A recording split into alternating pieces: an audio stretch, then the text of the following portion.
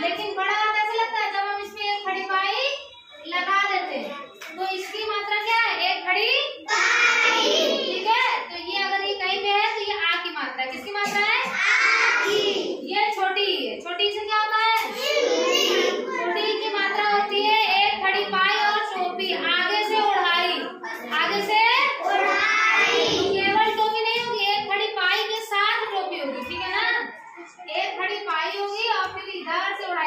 से?